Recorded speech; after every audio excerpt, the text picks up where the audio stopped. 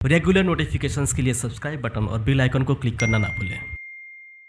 अगर पेशाब रुक जाए तो आंवले को पानी में पीसकर नाभि के नीचे लेप करने से पेशाब उतर जाता है। फिटकरी 50 ग्राम कलमिशोरा 50 ग्राम, सफ़ेद चंदन का चूरा 25 ग्राम लेकर कपड़ा से छान कर चूर्ण बना लें। इसे तीन ग्राम की मात्रा में दिन में तीन बार ताजे पानी के साथ सेवन करने से मूत्र संबंधी सभी विकार दूर हो जाते हैं।